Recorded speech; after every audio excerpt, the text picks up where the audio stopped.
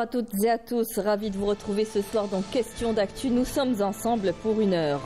La sécurité alimentaire en Algérie est une préoccupation majeure pour le gouvernement, étant donné la croissance démographique et les défis liés à la disponibilité des ressources alimentaires. Le gouvernement algérien a mis en place divers programmes visant à accroître la production nationale de certains produits alimentaires de base, notamment les céréales. L'objectif est de réduire la dépendance aux importations notamment.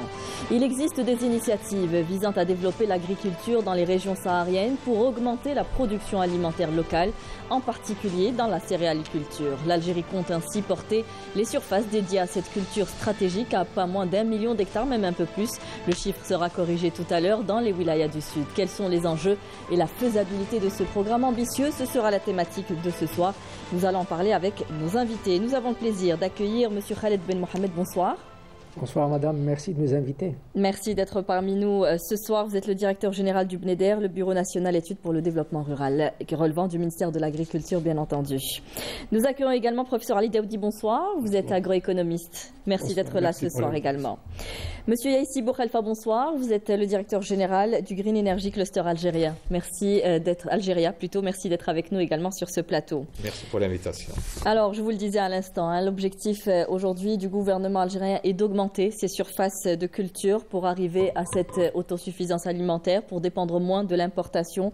Euh, l'agriculture saharienne, un atout majeur pour notre sécurité alimentaire. C'est le titre choisi pour cette émission. C'est le cas, professeur Monsieur Ben Mohamed c'est absolument le cas. En fait, euh, le territoire algérien est structuré en trois étages principaux. le nord, le haut plateau, la steppe et euh, le Sahara. Le Sahara occupe 87% de ce territoire. Et notre mode de peuplement euh, nous oblige à exploiter une bande frontalière qui est, un, étroite, deux qui subit de plein fouet les changements climatiques. Des changements climatiques qui s'accélèrent d'autant plus selon les modèles de prédiction. Ils étaient prévus, ce que nous vivons actuellement était prévu à l'horizon 2040-2050. C'est dire l'accélération de ces mutations climatiques. Et donc vient l'idée de réorienter, d'exploiter la profondeur territoriale de l'Algérie pour lancer des projets structurants versés dans le développement des cultures stratégiques. Et, ces projets structurants devraient être euh, orientés pour améliorer, un, les niveaux euh, de, de, production, de productivité, et surtout réduire les importations et rééquilibrer la balance des paiements. Tout ce qui est importé et apte à être produit en Algérie est une orientation, est une priorité pour le secteur. L'agriculture saharienne, euh, professeur Ali Daoudi, aujourd'hui, euh, c'est le meilleur choix pour l'Algérie? Euh, C'est bien sûr, c'est l'un des meilleurs choix de, pour l'Algérie. De toute façon, on n'en a pas beaucoup. Mhm. Nous avons une agriculture au nord sur laquelle il faut continuer à faire des efforts et investir de l'argent pour la rendre résiliente au changement climatique, mais aussi améliorer ses performances, euh, améliorer les conditions d'organisation, etc., pour améliorer ses performances. Et aussi, nous avons la possibilité d'étendre les superficies agricoles dans le sud. Nous avons des ressources hydriques considérables dans cette région qui permettent d'envisager justement une mise en valeur. C'est un programme qui date depuis maintenant 40 ans et qui est toujours euh, l'effort de l'État dans ce sens de promotion de la mise en valeur dans les zones arides, particulièrement dans le Sahara. C'est un programme qui continue. Après, avec toute notre expérience maintenant qui n'est pas des moindres, 40 ans d'expérience de mise en valeur dans ces conditions extrêmes, nous avons quand même aujourd'hui la responsabilité de tirer les enseignements de ces 40 ans euh, de politique publique de promotion de mise en valeur dans ces zones. Il y a beaucoup de choses qui ont réussi, d'autres qui n'ont pas réussi. Et donc, il faudrait qu'on tire les enseignements de cette, de cette expérience pour garantir les conditions de la réussite des ambitieux programmes euh, mis sur la table aujourd'hui par les autorités publiques et qui, euh, aujourd'hui, pour certains produits stratégiques, et je pense en l'occurrence au blé, devient une sorte d'impératif stratégique pour le pays. Nous voyons très bien que la production céréalière au nord est euh, rendue très aléatoire. Ça l'a toujours été, mais ça, devient encore plus aujourd'hui avec les perturbations climatiques. Et donc notre capacité à sécuriser une production minimale de céréales en Algérie se trouve amoindrie au nord. Nous avons tout intérêt à sécuriser une partie de nos approvisionnements dans le sud aujourd'hui grâce justement à ce potentiel naturel. Donc oui, c'est un excellent choix stratégique qui est fait par l'Algérie. Reste la grande question, sur comment le faire, comment le réussir. Comment le faire sur plein de volets. Il y a des enjeux environnementaux, des enjeux organisationnels, des enjeux économiques qu'il faut mettre sur la table, tirer les enseignements du passé et anticiper l'avenir. On va essayer de les développer justement dans cette émission. Hein. Professeur Ali Daoudi parlait de choses réussies, de choses moins. On reviendra peut-être plus en détail sur, euh, sur euh, ce qui vient de dire professeur Ali Daoudi. Mais pour ce qui a réussi, on a des exemples aujourd'hui. On a Adra, on a Biskra, on a plusieurs wilayas aujourd'hui euh, qui arrivent à alimenter tout le, pays. L'agriculture saharienne contribue à hauteur de 25% de la production nationale ce qui est important ce qui est considérable à prendre comme euh, En tout cas, c'est très encourageant. Mhm. Avec 7% de la superficie agricole utile, on arrive à, combler plus du quart euh, en termes de valeur de production. Il est vrai que la plupart des productions sont à valeur ajoutée importante. Vous avez les maraîchages, Biskra, Elwed, qui procure donc des gains, euh, des revenus considérables, étant qu'en valeur, euh, le poids de la valeur euh, de ces produits est impactant. Sauf que le, potentiel qui, qui s'offre à l'Algérie en termes d'opportunités d'investissement, de réorientation, ou de, on essaie de redessiner la carte de production agricole dans un contexte qui est de plus en plus contraint au nord par les changements climatiques, par le, prolongement des périodes de, sécheresse et surtout un phénomène qui s'installe, c'est le glissement des saisons agricoles. Ce qui met à, mal les exploitants agricoles. Les agriculteurs ne sont pas habitués à ce, changement, euh, donc à ce glissement dans le temps des saisons. Euh, au sud, nous ne connaissons pas ce genre de, de modifications. Nous avons des, des conditions extrêmes que nous connaissons. conditions extrêmes qui sont connues mhm. et qui offrent la possibilité jusqu'à produire deux récoltes l'an, à condition que le, les plans de culture soient réglés comme une horloge. Au sud, les cycles sont raccourcis. Mhm. Ils sont plus accélérés parce qu'il y a du soleil il y a de l'eau. Donc le cycle végétatif est plus accéléré et donc plus raccourci, où chaque erreur impacte le résultat. D'où l'intérêt de conduire euh, les ressources, aussi bien le sol, l'eau et le matériel végétal qu'on utilise à bon escient et avec une gestion très rapprochée de la ressource pour éviter de gaspiller. Nous remarquons et nous avons à maintes reprises indiquer à certains exploitants l'excès d'exploitation, euh, la surexploitation de la ressource, notamment la ressource hydrique, mhm. et parfois les intrants, les engrais et les produits phytosanitaires qui sont parfois utilisés en excès.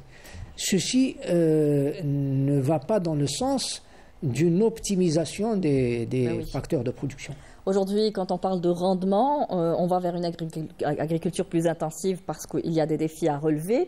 Mais pour que le rendement soit bon, il faudrait aussi qu'il soit rentable. C'est euh, là qu'entre aussi euh, l'énergie. Il faut étudier tous les paramètres hein, pour que aujourd'hui la, la, production soit rentable, qu'elle ne coûte pas plus cher que son investissement. Et c'est là qu'entre en phase la, stratégie, hein, ou alors que vous défendez aujourd'hui euh, à travers euh, le Green euh, Energy Cluster algérien, Monsieur Yaissi, c'est ce mix énergétique, c'est ce aller vers ces énergies renouvelables, puisqu'on parle de soleil que nous avons à profusion dans le sud algérien. Les énergies renouvelables devraient être, en tout cas, du moins intégrées dans ce processus, dans ce programme ambitieux lancé par le gouvernement algérien. Tout à fait. Je pense que l'idée d'associer les énergies renouvelables devrait devenir naturelle. Elle ne l'est pas aujourd'hui pour différentes raisons. Je pense qu'on a eu un peu l'occasion de faire le tour de la question il y a quelques jours euh, lors de l'organisation d'une journée dédiée que nous avons organisée avec l'aide euh, support du ministère de l'Agriculture et du Développement rural. rural et pour lequel nous le remercions pour tout ce qu'il a fait pour, pour, cette journée. En ce qui concerne la partie de, l'énergie, nous avons constaté qu'aujourd'hui, euh, c'est une autre couche euh, qui, mériterait qu'on l'étudie. De quelle manière? C'est le fait qu'aujourd'hui, quand il y a de nouvelles exploitations agricoles, il y a la tendance, je dirais un peu de la facilité de tirer encore des lignes sur des dizaines, voire des centaines de kilomètres. Et ça, ça met une pression énorme sur euh, l'opérateur euh, national Sonelgaz, qui fait qu'aujourd'hui, c'est-à-dire que les, chiffres qui avaient été communiqués, c'est-à-dire qu'à peu près il y a 43 000 euh, exploitations agricoles qui ont été raccordées, et ils devant un peu le, je dirais un peu le développement fulgurant de l'agriculture dans cette partie-là, donc la demande, elle est en train d'exploser aussi. C'est-à-dire qu'aujourd'hui, on parle peut-être de, encore de 20 000 ou 30 000 autres exploitations agricoles qu'il s'agit de raccorder. Or, si on suit un peu la logique avec laquelle la vitesse avec laquelle le raccordement se fait, c'est-à-dire qu'on va mettre là des années et des années. et là, nous avons une, belle opportunité pour que les énergies renouvelables, surtout le solaire dans le sud, puissent être partie prenante de cette, question. Et là, ce que nous proposons, c'est que on est, on une idée à peu près de la limite au niveau du kilométrage au-delà duquel l'utilisation ou l'extension du, réseau n'est plus économique. Et à ce moment-là, le, choix devrait aller vers les, énergies solaires. Les panneaux photovoltaïques notamment. Par, exemple, par exemple on peut aussi parler de, l'éolien mhm. et on peut faire un mix, comme aussi on peut associer d'autres choses. L'essentiel, c'est que d'arriver à fournir de l'énergie au niveau d'une exploitation agricole de telle manière qu'il serait dans les mêmes conditions que s'il était raccordé au réseau. Et à ce moment-là, il ne verrait absolument aucune différence s'il est raccordé au réseau ou s'il est raccordé sur une installation solaire. Et donc, il aurait de l'électricité H24, il aurait les mêmes, la même qualité de service. Et nous, ce que nous, nous préconisons, c'est qu'on rentre aussi dans une logique dans laquelle on puisse permettre à de nouveaux acteurs de mettre en place de nouveaux modèles économiques qui permettraient par exemple de produire de l'électricité et de la vendre à l'agriculteur ou à l'exploitant au même tarif que ce qui se fait dans d'autres régions du pays. Alors, difficile aussi de, pouvoir convaincre tous ces agriculteurs quand on sait que même l'électricité euh, soutenue par l'État est compétitive avec euh, euh, les panneaux solaires. Donc, il y a tout un travail de culture, de formation et de sensibilisation, j'imagine, à faire à ce niveau-là aussi. Tout à fait. Mais je pense que le, ce discours que nous tenons, c'est un petit peu l'objet de, la journée que nous avions mhm. organisée, ce n'est pas un discours que l'on tient vis-à-vis des agriculteurs.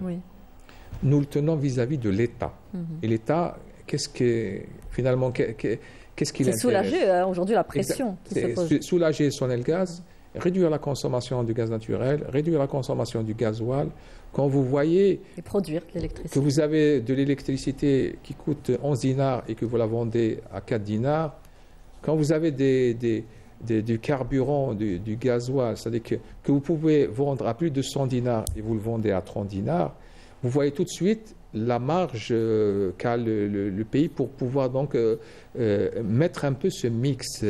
Et je pense que des acteurs importants comme Sonelgaz euh, sont là pour, pour mettre en place cette politique de l'État, mais aussi il y a un acteur important qui lui aussi il devrait être dans cette boucle, c'est Sonatrach, parce que c'est lui en réalité le premier bénéficiaire, puisque chaque fois que des, euh, des, des, euh, des, mètres cubes de gaz sont, sont sauvegardés, c'est autant de, de, mètres cubes, par exemple, qu'il peut exporter. Alors aujourd'hui, il faut penser l'agriculture saharienne comme un levier de développement durable. C'est important de le prendre dans ce contexte-là, retenir les erreurs du passé, comme vous le disiez tout à l'heure. Alors l'un des éléments de la durabilité, c'est effectivement la question de l'énergie. On n'en parle pas beaucoup, mais l'agriculture dans le Sud, notamment l'agriculture de grande taille, telle qu'elle est souhaitée aujourd'hui, telle qu'elle est promue par les politiques publiques, c'est une agriculture qui, demande beaucoup d'énergie. Mhm. Parce qu'il euh, faut pomper de l'eau à des profondeurs parfois très importantes et puis avoir de l'énergie pour faire fonctionner toute l'exploitation agricole. Et ces options énergie solaire rentrent justement dans la perspective de la durabilité de cette agriculture. Un. Deux, la, question de l'énergie solaire, je vous me permettez de faire juste une petite parenthèse par rapport à ça. permettra, dans une logique de nexus eau-énergie, de réduire, par exemple, nous avons travaillé récemment sur un, un projet de recherche sur comment promouvoir la production des cultures maraîchères dans des serres intelligentes où on multiplie les rendements d'une manière considérable et on économise pratiquement 90% de, l'eau utilisée. La seule contrainte de la généralisation de ce type de technologie en Algérie, c'est le coût de l'énergie. Ça coûte très cher. Si des solutions sont produites grâce à l'énergie solaire, ça permettrait de généraliser la production dans ce type de serres intelligentes et ça permettrait de libérer de l'eau pour d'autres cultures qui ne peuvent être conduites dans des milieux contrôlés, dans des environnements contrôlés, comme ça. Donc vous voyez, c'est une stratégie globale qu'il faut mettre. aussi l'eau, hein, qui n'est pas. Mais, absolument, mais l'eau, chaque mètre cube qui n'est pas utilisé pour produire des légumes sera utilisé probablement mhm. pour produire des blés. On était en train de parler tout à l'heure d'une ambition d'un million d'hectares au sud. Vous savez qu'est-ce que ça correspond? Irriguer un million d'hectares dans les conditions climatiques du sud, c'est énormément d'eau, c'est des volumes d'eau qui sont juste inimaginable. Et donc, c'est vraiment euh, tout euh, effort en matière d'économie d'eau, ça contribue à la durabilité du système. tout à l'heure, mon ami euh, disait que le changement climatique impactait les régions du Nord, y compris dans le Sud. L'aridité, dans le sud, on est en train d'observer des phénomènes climatiques extrêmes, des pics de chaleur à des moments où il n'y avait pas des pics de chaleur dans le sud. Mm. Il y a des vents violents à des moments où il n'y avait pas des vents violents. le, changement climatique impacte aussi le sud et rend encore beaucoup plus difficiles les conditions d'exploitation. C'est des paramètres qu'il faut toujours intégrer dans ces politiques de mise en œuvre. Les conditions extrêmes sont en train de le devenir davantage. Mm. Et donc tous les efforts de réflexion sur la durabilité doivent intégrer ces paramètres. Je ne peux pas m'arrêter sans parler de l'eau. Là, on va en parler, on a une heure. Cette, agriculture dans le sud est structurée autour de la ressource hydrique. Absolument. Et donc cette ressource hydrique, il faut, bien sûr, nous avons un réservoir qui est important, mais il faut tout faire, tout faire pour l'utiliser de la manière la plus optimale possible. Ce, que, ce n'est pas ce que nous sommes en train de voir sur le terrain. Dans aucune des exploitations que j'ai visitées dans le sud, il y a un compteur d'eau. Il y a des forages qui sont réalisés, il n'y a pas de compteur d'eau, alors que la loi le prévoit. On peut l'accepter pour les petites exploitations, ça, fait partie de, j'allais dire, de... Mhm. Même le système qu'on utilise. Par contre, dans les grandes exploitations, dans les grandes exploitations qui sont en train d'être créées aujourd'hui, c'est pas normal de ne pas installer des compteurs. On ne parle pas encore de tarification, mais au moins qu'on ait une idée sur les volumes d'eau qui sont pompés. Donc, bref, ça commence par quantifier les volumes d'eau qui sont utilisés, mettre en place des incitations type tarification pour inciter les, agriculteurs à optimiser l'utilisation de cette eau, c'est vraiment fondamental. L'expérience dans le monde. Il y a beaucoup de pays qui nous ont devancés dans l'agriculture dans les zones, dans les milieux arides, mmh. extrêmes. Et l'expérience a montré que le facteur. En Afrique, notamment. Mmh. En Afrique, l'Arabie Saoudite, aux États-Unis, le sud de l'Espagne, dans plein de pays où ils, sont en avance par rapport à nous d'une trentaine d'années, donc on peut tirer des enseignements de leur expérience. Et partout, c'est dans ces régions-là, l'abondance dans l'illusion que c'est une eau qui est inexploitable. Et, il y a toujours phénomène de surexploitation. Et souvent, dans beaucoup de contextes, il y a un collapse, il y a un effondrement des systèmes économiques qui est structuré autour de cette ressource hydrique. C'est pour ça qu'il faut, tirant les enseignements, il y a vraiment de développer une agriculture dans le Sud qui soit durable, qui tient compte de ces contraintes et qui s'inscrit dans la durée. Il ne s'agit pas de produire des biens alimentaires dans le Sud. Il s'agit de produire des biens alimentaires, mais aussi développer un territoire qui est fondamental pour nous. Donc créer une dynamique économique durable qui fixe des, qui au, profit des, habitants de ce territoire et qui crée de la, de, la, croissance et de la richesse, de manière durable. Alors on a compris, hein, il y a des défis très importants à relever aujourd'hui. La feuille de route tracée par le gouvernement à ce jour, c'est celle de vouloir euh, augmenter la surface dédiée à la céréaliculture d'1,4 million d'hectares, je corrige le chiffre pour être plus précis. Alors où est-ce qu'on en est aujourd'hui? Est-ce que tous ces paramètres sont pris en compte ou pas encore? Bien entendu, ce sont des paramètres qui constituent donc des objectifs à atteindre. Et toute la politique est orientée à l'effet d'atteindre euh, ces valeurs-là à l'horizon 2035, puisque la, stratégie a mmh. été élaborée à cet horizon-là. Et donc, euh, un, des moyens, c'est la mise en place du fameux Office de développement de l'agriculture industrielle intersaharienne, donc l'ODAS, oui. qui, avec l'ONTA, l'Office national agricole, contribue à l'atteinte de, cet objectif-là en facilitant l'accès des investisseurs au foncier agricole.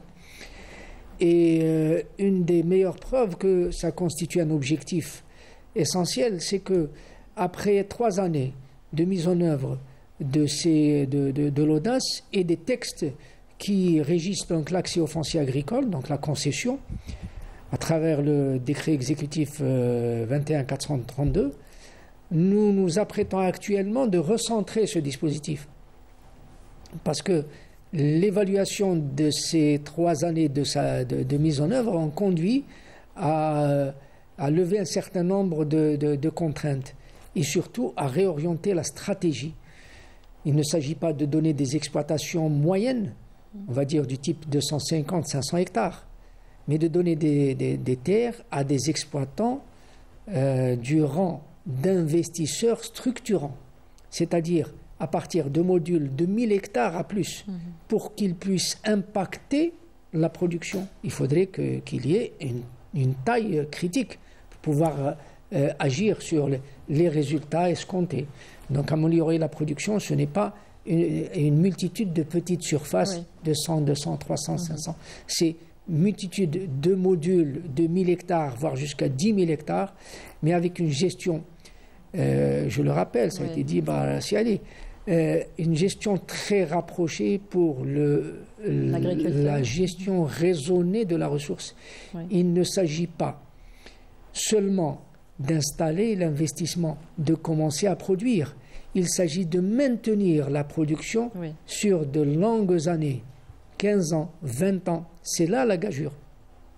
Il est extrêmement. On a vu des exemples. Vous voyez, les, les, les périmètres créés à Bedla dans les années 70 où ça a commencé à produire, mais la durabilité dans ces régions-là est toujours difficile à atteindre. Nous avons eu l'expérience de ferme de Gassitoui. Nous avons eu l'expérience également de l'exploitation de la Sonatrac à Gassitoui également. Projets qui, euh, qui se sentent, euh, on va dire, euh, aidés les uns les autres avec le retour d'expérience. Toujours est-il que il y a toujours quelque chose pour améliorer. Nous parlions tout à l'heure concernant l'énergie. En fait, euh, nous arrivons à un moment où il sera quasiment impossible d'étendre le réseau. Parce que, voyez-vous, les exploitations agricoles et les terrains sont concédés, sont donnés de proche en proche partant des réseaux qui existent, des réseaux de communication, donc les, voies routières évidemment, de plus en plus, on rentre vers l'intérieur des terres. Et à un certain moment, ça devient un coût rédhibitoire. Nous ne pouvons plus alimenter mhm. en électricité du, réseau si, euh, quand on est à plus de 30 km de la voie. Mais pourquoi est-ce qu'aujourd'hui on laisse, est-ce qu'on laisse ce choix aux investisseurs ou pourquoi ne pas faire comme un cahier des charges et demander à ce qu'il y ait certains paramètres obligatoires comme les compteurs euh, dont vient parler le professeur Idaoudi, les panneaux photovoltaïques, l'éolien? Vous avez tout à fait raison. Euh, dans le cadre justement de ce dispositif de l'audace, il y a un cahier des charges qui incite les exploitants à utiliser des énergies renouvelables, le solaire, l'hybride, et c'est même euh, donné dans le cadre de l'appel à projet. C'est l'État, à travers ses démembrements, qui participe à la reconnaissance, au choix des terrains à mettre en valeur, l'État finance les études de faisabilité pour dire que cette parcelle ou ces parcelles sont bonnes à exploiter du point de vue agricole pour telle ou telle spéculation, telle ou telle culture. Et après, on met ce euh, périmètre en jeu dans le cadre d'un appel à projet. Et l'appel à projet est, est, établi avec des critères et, des, et on va dire des spécifications techniques. Et dans les spécifications techniques pour chaque périmètre, en fonction de son éloignement du chef-lieu, de commune ou de wilaya, en fonction de son éloignement des voies de communication ou du réseau, on introduit des recommandations. Pour ce périmètre, il est préférable d'opter pour les énergies renouvelables ou pour les énergies hybrides ou pour les énergies euh, connues. Mais est-ce qu'aujourd'hui, si on fait ce choix, avons-nous aujourd'hui les capacités de le faire, le matériel, la technologie, la ressource humaine? Je pense que de cette, euh, peut-être euh, si on était en train de parler de ça il y a trois ans, on, aurait peut-être posé quelques, quelques interrogations. Aujourd'hui, avec euh, ce que l'État est en train de mettre en termes, je dirais, de, capacité pour les réalisations des grands programmes dans le domaine des énergies renouvelables et du solaire en particulier, il y a donc un intérêt manifeste de, de l'ensemble des acteurs de pouvoir accompagner ce programme y compris dans le domaine de l'industrialisation. Donc aujourd'hui, nous avons des capacités euh, au niveau donc de, de, l'assemblage des panneaux solaires, nous avons des capacités au niveau donc des structures, du cap. Donc de ce côté-là, il n'y a pas de souci. Je pense que... Parce qu'il y a un coût, il y a un financement, il y a un entretien que devra faire aussi euh, l'exploitant. Euh, il y a beaucoup de contraintes aujourd'hui. Est-ce que nous avons les moyens de pouvoir offrir tous ces services? Il faudrait d'abord que, que l'on sorte un peu de l'image, je dirais, euh, qu'on donne aux, énergies renouvelables et solaires en imaginant que nous avons un, petit système comme ça de pompage ou d'éclairage public. Nous ne parlons pas de, ce type de système. Nous sommes en train de parler de grandes exploitations agricoles dans lesquelles les, mhm. besoins sont donc euh, importants. Ils sont là euh, pour toute l'année. Et donc, il s'agit de construire un peu un système dans lequel l'offre d'énergie devrait être le, de, même type de qualité que celle qu'il recevait du réseau. Et de ce fait, cela doit faire appel à des spécialistes, à des entreprises spécialisées dans ce domaine-là. Aujourd'hui, si vous prenez, on peut, on peut prendre les exemples. Aujourd'hui, dans le Sud, nous avons ce qu'on appelle les réseaux isolés du Sud. Ce sont des réseaux dans lesquels on a des centrales qui peuvent être euh, solaires ou bien diesel. Il y a un réseau, il y a, on, a, on fait arriver l'électricité jusqu'à à l'utilisateur et même jusqu'à chez l'agriculteur. Donc ça veut dire que le modèle, euh, je dirais, euh, sur le plan technique existe, euh, le, modèle sur le plan économique existe, avec un peu la, répartition des tâches entre un producteur et un distributeur d'énergie. Il s'agit un peu de, reprendre exactement le même schéma, mais en, le dédiant à l'agriculture. Nous, ce que nous, nous voulons dire, c'est que nous ne voulons pas faire des énergies renouvelables pour un peu l'électrification rurale. C'est-à-dire que bon, souvent, c'est ce qui est un peu mm-hmm. vu dans le monde parce que les gens euh, vivent loin, donc il faut leur ramener l'énergie. Mm-hmm. Et donc, c'est toujours un, peu, un coût supplémentaire qu'il faut payer. Là, nous sommes dans une logique économique. C'est-à-dire de dire. voilà. Et donc là, ça veut dire qu'il y a, il y a vraiment intérêt à ce que l'agriculteur puisse aussi le faire. Maintenant, il s'agit un peu de trouver un mécanisme qui permettrait à ce moment-là d'enclencher de, la démarche pour que l'agriculteur puisse être euh, euh, rassuré, puisse aussi un peu, je dirais presque, euh, voir quand le, le, même accompagnement, le même accompagnement qu'il aurait s'il utilisait d'autres équipements, par exemple les pivots, ou bien les pompes ou, autre. Alors justement, hein, cette agriculture industrielle n'est pas sans effet, hein, direct ou indirect, sur les agglomérations sahariennes et sur les oasis, ou concurrence euh, sur l'eau, remontée des nappes salées. Les spécialistes mentionnent une régression également de la palmeraie traditionnelle qui a pourtant euh, résisté à travers les siècles. Est-ce qu'il faut aujourd'hui aussi s'en inspirer de ces oasis et les développer aussi, les intégrer dans ce programme? Euh, Exactement. Moi, vous me donnez l'occasion de, de réagir par rapport à ce que vient de dire Khaled tout à l'heure concernant le modèle qui est aujourd'hui promu, le, le, modèle de la grande, de la méga exploitation agricole de plus de 1000, 10 000 hectares. Pourquoi pas? Quelques-unes. Mhm. Mais il ne faut pas oublier que l'expérience a montré sur les 40 dernières années, ce sont les exploitations de taille moyenne, familiale, qui, qui résistent, qui sont plus résilientes, qui tiennent le coup, les méga-exploitations capitalistes ne cherchent que le profit. Dès qu'il y a une baisse de profitabilité, parce que c'est tout à fait, c'est dans leur ADN, dès qu'il y a une baisse de la profitabilité, ils quittent les lieux. On ne peut pas construire une économie agricole avec des entreprises comme ça, si ce n'est de les maintenir viables par la subvention. Et là, on va sur un autre volet de la durabilité. Ça veut dire, ça veut dire qu'il faut, pour maintenir ces exploitations actives, il faudrait que l'État injecte d'une manière régulière de l'argent, non seulement à travers la subvention de l'énergie qui est aujourd'hui quasi acquise, mhm. mais aussi à travers la subvention de l'eau qui aujourd'hui n'est pas payée, non seulement à travers l'accès au foncier qui n'est pas. Voilà, c'est pour ça qu'on parle de rentabilité, c'est important. mais en même temps, demain, dans l'avenir, si redoit le cours du marché euh, va, s'effondrer, il va y avoir des difficultés à absorber. Donc l'État doit s'engager à acheter.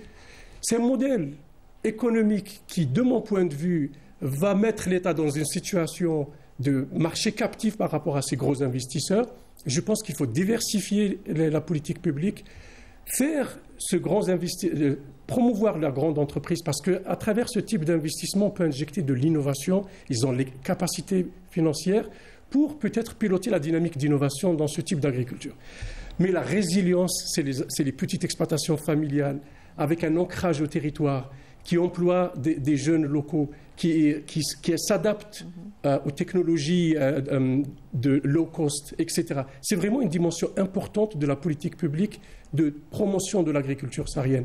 On ne peut pas penser l'agriculture saharienne uniquement à travers ce la, grande entreprise. C'est de là, comme je le disais, il faut s'inspirer de la culture euh, oisienne. Exactement. Et je reviens donc à l'agriculture oisienne. Et donc nous avons un modèle qui est réputé pour être le seul modèle durable dans les conditions extrêmes. C'est une école, c'est un laboratoire de recherche à ciel ouvert. Bien sûr, beaucoup d'oasis aujourd'hui sont en situation de difficulté. Oui, beaucoup sont abandonnés. Euh. il y a plein de problèmes. Des problèmes fonciers à l'intérieur, de partage, de division et d'héritage, etc. Il y a un problème d'urbanisation à l'intérieur parce que les oasis, traditionnellement, il y a aussi le lieu d'habitation qui est oui. Et donc, il y a aussi une extension urbaine à l'intérieur des oasis. Mais il y a aussi la concurrence sur les ressources hydriques. Lorsqu'il y a un périmètre de mise en valeur qui s'installe à l'amont d'une fogara ou à l'amont d'une oasis traditionnelle, ben, il va pomper l'eau. Ben, il n'y aura plus dans les aquifères superficiels les, espaces, enfin les pontes d'exorde d'eau vont s'assécher, ben, il n'y aura plus assez d'eau pour ces, pour ces palmeraies. Et on est en train de perdre avec ce patrimoine à la fois du savoir-faire, parce que les oasis, ce sont vraiment une culture hydraulique ancestrale qui nous apprend comment vivre avec l'eau, comment gérer l'eau dans les, conditions, les, plus extrêmes. Et ça, moi, je pense si l'Algérie a tout à gagner à faire de ces, de ces oasis un laboratoire de recherche à ciel ouvert, s'inspirer et produire des modèles dans la mise en valeur la nouvelle agriculture saharienne qui s'inspire de ça. Il ne peut pas y avoir de la céréaliculture sans palmiers autour. Ça ne marche pas. Beaucoup d'agriculteurs, les seuls qui ont réussi dans la céréaliculture dans le sud, ils ont très bien compris, c'est de mettre du palmier dattier euh, autour pour créer une sorte de microclimat, éviter justement les phénomènes extrêmes dont on parlait tout à l'heure, les vents violents, etc. Donc, D'autant qu'il peut y avoir une véritable agriculture oasienne également. Il peut y avoir, hein c'est une, une, nouvelle agriculture saharienne qui s'inspire de l'agriculture oasienne. Mais on peut utiliser aussi le palmier dattier pour plusieurs. Euh... quand je dis agriculture saharienne, le palmier dattier doit exister. C'est ça, hein, on parle du palmier ah, dattier comme plante fourragère, comme euh, on parlait de, euh, tout à l'heure euh, de la culture sucrière. Aujourd'hui, on peut utiliser. ce qu'on pense à intégrer aujourd'hui, à préserver en tout cas notre patrimoine et à l'intégrer dans ce programme d'un million, virgule quatre d'hectares ou Alors, il faut, il faut savoir que les programmes de développement ne se font pas aux dépens de ce qui existe. Mais beaucoup d'oasis sont abandonnées aujourd'hui. Euh, ce n'est pas par le fait euh, de, la mise en valeur. Oui. Bien. Il y a des problèmes intrinsèques, mhm. certes, qui ont été énumérés et qui méritent toute l'attention des pouvoirs publics, des techniciens, des chercheurs, etc.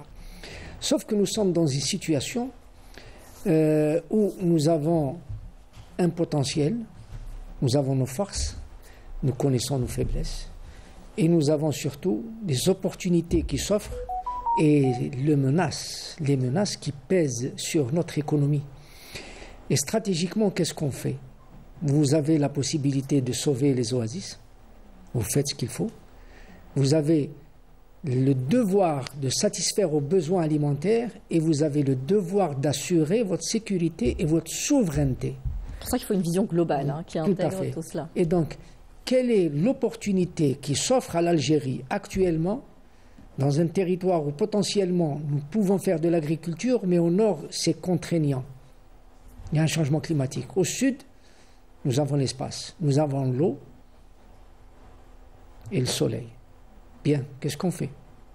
Surtout que lorsqu'on développe l'agriculture, notamment la céréaliculture au sud, ce n'est pas pour, pas pour autant de faire uniquement de la consommation. En fait, l'orientation stratégique, c'est de pouvoir faire de la semence. De la semence qui détient la semence, détient le pouvoir.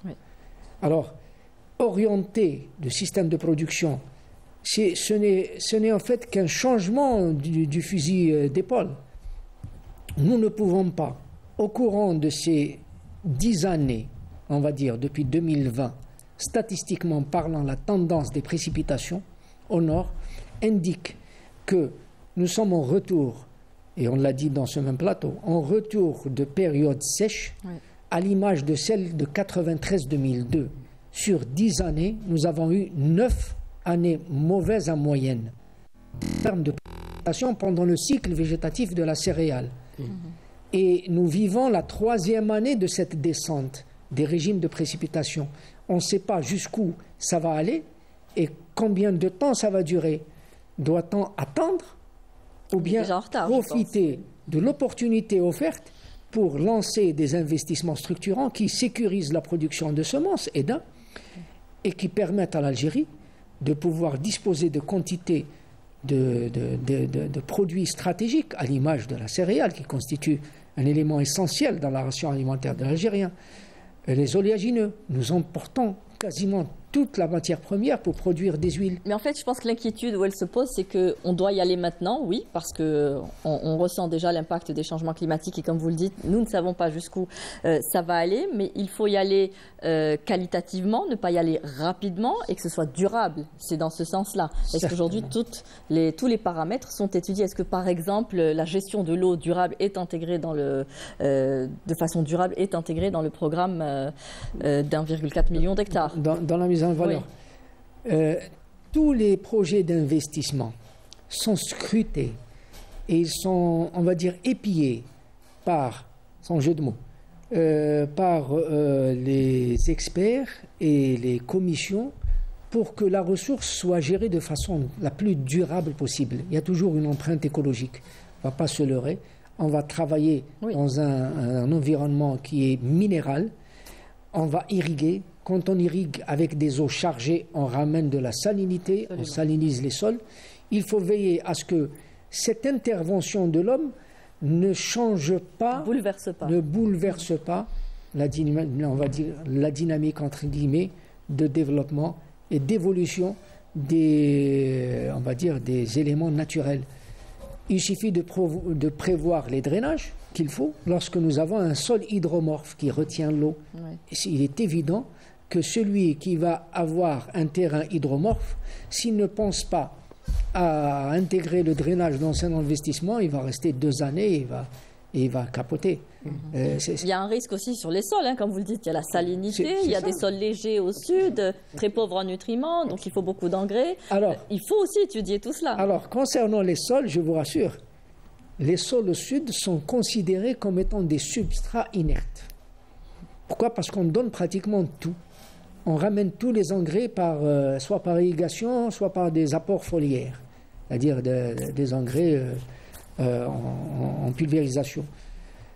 on considère que le sol est un substrat inerte, c'est un support de la plante, considérateur d'ailleurs. Mm-hmm. Et toutes les prescriptions techniques, tous les cahiers des charges que soumet, qu'imposent plutôt les textes de la mise en valeur, de la nouvelle mise en valeur aux investisseurs, c'est cette gestion de la ressource et sa durabilité. Il y a des contrôles récurrents, des équipes techniques qui passent et qui font des mesures et qui vérifient si la ressource est gérée de façon convenable. C'est encore. Hein. Certains euh, exploitants. il faudrait. Voilà. Alors, euh, justement, de surface, puisqu'on a surface agricole qui doit augmenter, les panneaux photovoltaïques vont prendre aussi des surfaces et de l'espace. Est-ce que ça ne va pas encore une fois euh, euh, éloigner encore l'intérêt des agriculteurs pour euh, cette technologie, pour le système solaire? Est-ce que cela va effectivement je pense que d'abord, bon, les calculs qui ont été faits et présentés mentionnent que vraiment le, c'est négligeable en termes d'occupation de, des espaces. Mais je pense qu'il y a aussi une marge de manœuvre dans ce domaine-là, puisqu'il y a quand même euh, des espaces que l'on peut exploiter, comme par exemple les toitures, par exemple, qui pourraient exister là-bas. Aujourd'hui, il y a aussi une nouvelle et euh, dont associé un petit peu à l'agriculture, de mettre même les panneaux solaires à une certaine hauteur qui, qui va réduire euh, l'effet de, de, de, trop de, soleil et, qui permet par exemple de garder même un niveau d'humidité plus intéressant. Il y a euh, pas mal de choses qui niveau-là euh, par une un peu de, prototype mais de prototype grande échelle, c'est pas des installations et dans lequel on pourrait. Et, Cela prendrait pour euh, une exploitation moyenne, il faudrait en termes de pourcentage combien pour la surface oh, euh, dédiée aux panneaux C'était moins de 1%, quelque chose comme ça. Donc c'est pas c'est pas considérable. Moi, je pense qu'il y, y, a matière à, à réfléchir, c'est-à-dire que euh, l'occupation des, des, des, des, sols devrait faire aussi l'objet d'un travail euh, conjoint avec les, les exploitants et les, les agronomes. L'éolien pourrait être une meilleure solution ou pas? Ben, C'est que le sud apparemment est très venté, il y a beaucoup de vent. Il faut d'abord, il faut d'abord que les, il faut euh, avoir donc le, connaître un petit peu les, les, endroits où il y a des, couloirs de vent. Ensuite, bon et que vous de, durant la nuit. Donc, il y a quand même une complémentarité que l'on peut assurer. Et je pense que ça, ce sont des, choses qu'il s'agit de, de, de, commencer à regarder dans le détail et de mettre ça euh, petit à petit, euh, mais vraiment à une échelle, une échelle industrielle. C'est vraiment un peu le, travail que nous voulons faire dans, dans ce domaine-là. Et pour cela, donc, on a besoin un petit peu de la participation de, l'ensemble des, des, parties prenantes pour que il y a aussi un, regard, je dirais, neuf par rapport un peu euh, au solaire, euh, qu'on sorte un peu des, petites applications un petit peu artisanales, de, passer à un autre niveau de, euh, d'intervention et surtout, surtout, de donner aussi de, de, l'assurance, des assurances plutôt aux agriculteurs, parce que finalement, à la fin, c'est cela qu'il s'agit de, convaincre pour leur dire que vous n'aurez aucun souci donc sur le plan énergétique ou sur le plan de la de la fiabilité des installations. Et ça, c'est vraiment c'est un challenge important. C'est-à-dire que ça peut avoir un impact, euh, on va dire un peu rédhibitoire sur le moment, mais c'est euh, sur le long terme, ça a quand même un impact positif euh, écologique sur l'exploitation. Alors aujourd'hui, on parle de technologie, on peut parler de recherche scientifique. Il mhm. faudrait peut-être aussi, je pense qu'elle fait partie également de, tout ce programme. Il faut des programmes spécifiques pour promouvoir, par exemple, la culture, la résilience hein, des cultures face au changement climatique, mhm. les sols, protéger les sols comme on vient de, l'entendre, avec la salinité, euh, l'utilisation des engrais. La recherche scientifique est un, très importante. Euh, absolument, c'est une agriculture qu'il euh, qui faut inventer. Et techniquement, il faut produire des solutions techniques adaptées à cette agriculture. On, pense, on, croit connaître. Et souvent, on essaie d'appliquer des techniques et des technologies qui sont adaptées dans d'autres environnements et qu'on essaye un peu de calquer et on bricole un peu pour les faire adapter. C'est ce, ce, que font les acteurs. Il y a donc il y a beaucoup de recherches à faire et de deux types de recherches à faire, de mon point de vue. Il y a un type de recherche d'abord qui va surveiller la durabilité des ressources. Là, on fait de la recherche fondamentale sur les nappes, sur la dynamique des nappes, sur l'évolution des nappes et sur euh, produire des modèles pour euh, vraiment euh, suivre ces nappes. Et les sols, donc une recherche sur les ressources et le monitoring de la durabilité des ressources. Et puis, il y a des recherches plus appliquées sur quelle technique, quel modèle de production, quel modèle agronomique, quelle technologie d'irrigation, quelle technologie solaire. Sur l'énergie solaire, par exemple, de mon point de vue, je ne suis pas du tout spécialiste, ce n'est pas le problème d'espace qui va se poser. Dans l'agriculture, il y a des moments clés où l'irrigation doit avoir lieu. Et donc, il nous faut une énergie fiable. Il faut pendant la nuit. L'itinéraire technique. il y a des moments où il faut irriguer H24. Si tu as que du solaire ou tu n'as pas de batterie, tu ne peux pas irriguer le soir, ça ne marche pas parce que ça remet en cause tout ce que tu as fait pendant un cycle végétatif. Donc c'est vraiment l'une des questions où il faut s'assurer d'avoir une énergie fiable pendant H24 pour que l'agriculteur puisse marcher. Ça serait ça le, challenge technique. il faut peut-être aller vers des mixtes énergétiques euh, raisonnés d'une manière intelligente. L'éolien. L'éolien, ça peut être aussi le diesel, ou, même le, gaz, le GPL. Ça peut être aussi du GPL. Le diesel, c'est ce qui est utilisé actuellement. Exactement. Il y a plein d'options qu'il faut réfléchir et je pense que la réflexion est bien faite. Je, euh, sur la recherche, je, ne, je profite un réseau thématique de recherche qui sur l'agriculture saharienne. Ce réseau a été créé il y a maintenant quelques mois. Il y a un mois, il a tenu euh, la, première réunion de son comité de pilotage Et ce réseau, son objectif justement, c'est d'identifier les de recherche autour de laquelle l'effort national en matière de recherche autour de l'agriculture saharienne doit être mené. Mmh. Et les travaux sont en train de se faire. J'espère au bout de quelques mois, on aura justement un programme de recherche qui sera discuté avec l'ensemble des partenaires agriculteurs, ministère de l'Agriculture, pour euh, accompagner cette, ce grand chantier, absolument, accompagner à la fois en termes d'optimisation d'utilisation de ressources, mais aussi en termes de je rajouterais concernant la politique publique par rapport à cette volonté de booster l'agriculture saharienne. Aujourd'hui, la volonté politique, elle est clairement affichée, elle est là et on s'en félicite. Mhm. Par contre, les mécanismes, je pense qu'il y a quelque chose à faire encore sur les mécanismes. Ça, euh, ça fait trois ans que l'audace existe. Si on voit les attributions foncières qui sont accordées dans le cadre de l'audace, le, taux de réalisation, le taux de mise en œuvre est très lent. Il faut se poser la question pourquoi ceux qui bénéficient de ces attributions, malgré le fait qu'ils soient passés par un processus de sélection, pourquoi ils n'arrivent pas à engager les investissements? Moi, je pense que l'une des hypothèses que j'avance, c'est que sur beaucoup de terrains, il y a des difficultés réelles sur le terrain. Les terrains ne sont pas aménagés, ils ne sont pas euh, viabilisés, il n'y a pas de réseau, il n'y a pas de route, il n'y a pas. Je pense que l'État, pendant un moment, pour booster cette dynamique, doit encore injecter de l'argent pour grande zone de mise en valeur.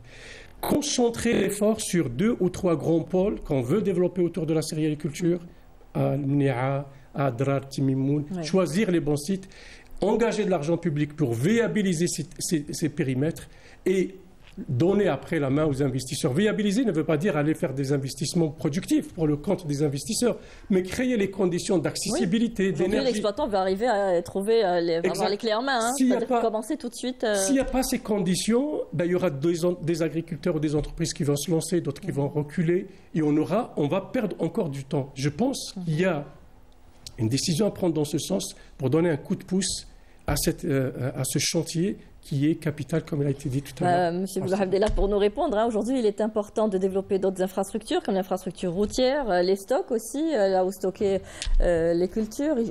C'est important qu'il y ait toutes ces infrastructures autour de l'exploitation. Absolument, absolument. C'est une question vitale. Sauf que l'option qui est offerte pour les pouvoirs publics, c'est soit investir, engager de l'argent public dans une conjoncture que nous connaissons et, qui offrirait la possibilité à terme aux exploitants de pouvoir démarrer. Encore faut-il qu'ils trouvent, parce que le problème se pose dans, le, dans la capacité qu'ont les entreprises de forage, des, mmh. des puits forage. Euh, euh, les gens ont des difficultés, les exploitants ont des difficultés à trouver des entreprises spécialisées mmh. dans le forage, dans les puits, etc. Et, ça, ça pose problème. Euh, toutes les mesures administratives, une fois réglées, ben, on se retrouve en face de problèmes pratiques, de problèmes de, de, de, prestations de services. Et, là, le, problème reste entier. Euh, quels sont régler ce genre de petits soucis Ce sont les grandes entreprises qui, elles, peuvent ouvrir leur propre piste réaliser par leur propre investissement les forages, en tout cas les premiers forages. Mm. Ils installent les, premières, les premiers pivots pour commencer à avoir des flux financiers et pour euh, financer donc leurs projets de, de proche en proche. C'est cela que vise l'État en premier lieu. Ceux qui peuvent développer des exploitations de taille respectable et, et ceux-là peuvent entraîner la roue économique et entraîner ceux qui veulent s'investir dans ce domaine-là. Vous savez, le progrès, le, progrès, est par essence déséquilibré. Vous avez un noyau de progrès qui tire toute la charrette. Et, ça se fait ainsi. Et l'État a opté. On a vu l'expérience avec la générale des concessions, où l'État a investi des sommes colossales à aménager des périmètres jusqu'à aller au réseau d'irrigation dans la parcelle. On fournit le plan, on fournit les ruches, on fournit les abeilles, le transfo, tout, clé en main, et on donne à l'exploitant. Certains ont réussi, d'autres pas. Euh, c'était un moment où l'État, où l'Algérie avait les ressources financières pour. Maintenant, Il faut un accompagnement aujourd'hui. nous avons la Une possibilité formation, un, un de faire une l'accompagnement, certes, Mhm. Mais nous avons le choix. Sur le plan technique, financier, euh, euh, quelle est la place aujourd'hui de la recherche scientifique? Essentiel. Nous sommes dans un milieu très pointu où on ne peut pas se permettre euh, de calquer un modèle euh, de production agricole du Nord, par exemple, au niveau euh, des, des- des zones au Sahara, parce que vous, les, les réactions sont rapides, les délais sont raccourcis. Nous pouvons produire des blés en 90 jours Oui, et lancer une autre culture. Qui, mieux que la recherche, peut développer un matériel végétal par des manipulations génétiques contrôlées, bien entendu, pour pouvoir sélectionner des variétés adaptées Parler de la au climat. semence comme un pouvoir, on peut prévoir euh, des fermes de production de semences, euh, de- des cultures que nous voulons développer chez nous. L'avantage du, du Sahara, c'est que c'est un milieu isolé. Et donc, il n'y a pas mieux pour produire la semence pour éviter les mélanges variétaux. Et donc, on, on- on opte pour ce genre d'espace isolé. Ça permet de, de- de- de produire euh, de, de la semence et de garantir sa sécurité alimentaire à travers, un, la banque de semences, deux, la préservation des variétés adaptées à chaque système. Dans les années 90 que j'ai cité, 93 où il y avait le problème de pluviométrie, eh ben, c'était le sud, les exploitations de Wargla, qui ont fourni la plupart des ressources en termes de semences céréalières. Quand il faut se replier, on se replie. C'est une question stratégique. À un moment où nous avons des contraintes de production au nord, eh ben, on opte pour le sud. Alors, euh, pour revenir euh, aux énergies renouvelables, euh, on a beaucoup parlé de contraintes euh, pour l'installation de cette solution solaire, mais on va parler aussi de réglementation. Il peut y avoir aussi des, des défis à relever à ce niveau-là, des contraintes réglementaires. Tout à fait, tout à fait. Je pense que de ce côté-là, euh, il y a quand même euh, Une réflexion à concerne euh, sur la meilleure manière un peu d'impliquer euh, d'autres acteurs, comme on le voit dans le secteur agricole. Donc il y a, on fait appel à des investisseurs pour euh, travailler la terre. L'idée aussi, c'est de- d'amener des investisseurs à être dans la, dans la manière de, produire et de gérer et de commercialiser cette énergie. C'est un petit peu le, schéma que nous soutenons, qui permettrait à ce moment-là aussi pour euh, l'agriculteur de se concentrer sur son métier, de- donc Oui. ça, de, de consacrer ses moyens financiers et tout son savoir-faire dans, dans le secteur de l'agriculture. Et puis, à ses côtés, il y aurait quelqu'un qui serait là beaucoup plus dans, dans, une, dans une logique de, de, de- de production et de gestion de cette énergie-là, et qui le ferait via un contrat euh, un- le plus normal du monde, dans lequel les, les deux parties s'entendent sur le, le- tarif à payer et euh, sur la manière de, de rétribuer euh, l'investisseur. Mais pour cela, il faut quand même euh, faire évoluer la, réglementation dans ce domaine-là, puisque elle existe depuis maintenant très longtemps et elle, existait au moment où il y avait encore, je dirais, un peu le monopole sur tout. Ensuite, il y avait le fait que les, énergies renouvelables n'étaient pas encore suffisamment développées.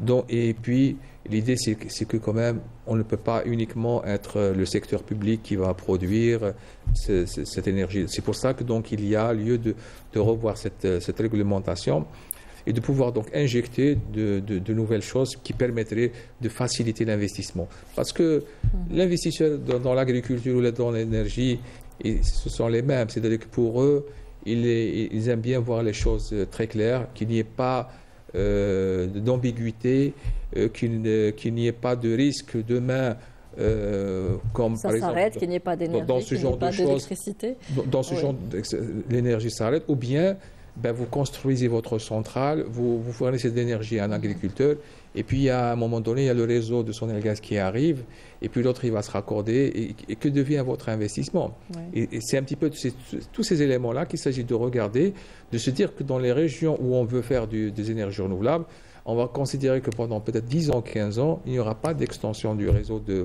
Sonelgaz. Il irait sur d'autres régions et ça le soulagerait et ça lui permettrait peut-être même de faire des renforcements. Vous voyez un petit peu, donc il y a tous ces éléments-là. De, sécuriser un peu ce genre d'investissement de, pour dire à ce moment-là, écoutez, nous avons 5 000 hectares ou 10 000 hectares qui existent dans tel wilaya, on a des besoins importants d'énergie, on, va regarder un petit peu toute la, problématique des, prix et tout ça, et puis on, fait des contrats et on laisse un peu les investisseurs le faire. je pense que c'est une manière aussi euh, de, de, faire un peu un équilibre aussi entre ce qui est aujourd'hui euh, est fait à partir du gaz ou du, ou, du, du gasoil et l'utilisation des énergies renouvelables. Alors, pour juste euh, sur, le plan technique. On arrive à la sur le plan technique, il n'y a, a, pas vraiment de contraintes. C'est-à-dire que vous pouvez utiliser le solaire, l'éolien, vous avez le groupe diesel, vous pouvez utiliser les batteries. C'est une, c'est une question de coût en général qu'il s'agit de faire.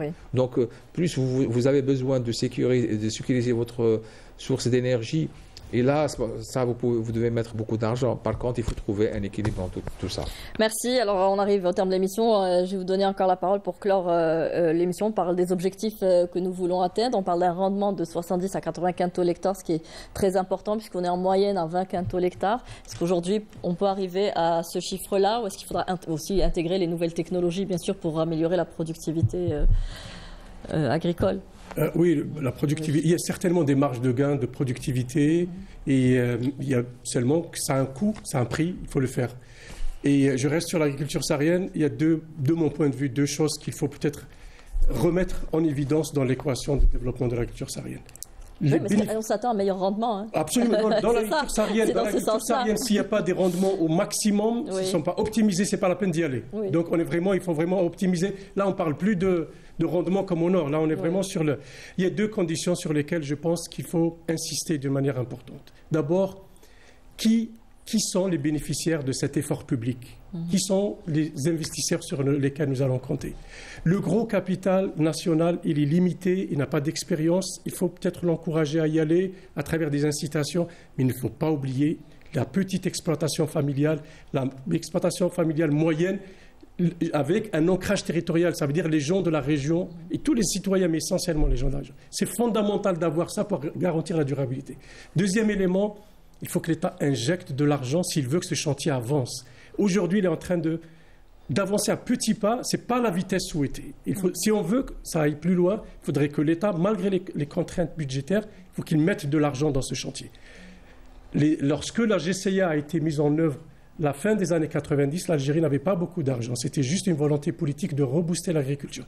Il y a eu une erreur, quelques erreurs dans la gestion de la GCA. Il y a eu des résultats qui étaient, certains ne sont pas bons. Il faut peut-être tirer les enseignements. Il ne faut pas avoir peur de cette expérience, peut-être la rééditer avec une nouvelle version, mieux maîtriser les conditions de la réussite. Sans argent public, l'agriculture saharienne ne peut pas décoller à la vitesse de croisière souhaitée pour atteindre à échéance voulu les objectifs fixés. Monsieur Mohamed, dernière question, nécessité du soutien de l'État et qui sont ces investisseurs? Alors, un, gros problème se pose, ou on va dire une grosse problématique, c'est le choix du profil de l'investisseur. Ça, c'est essentiel.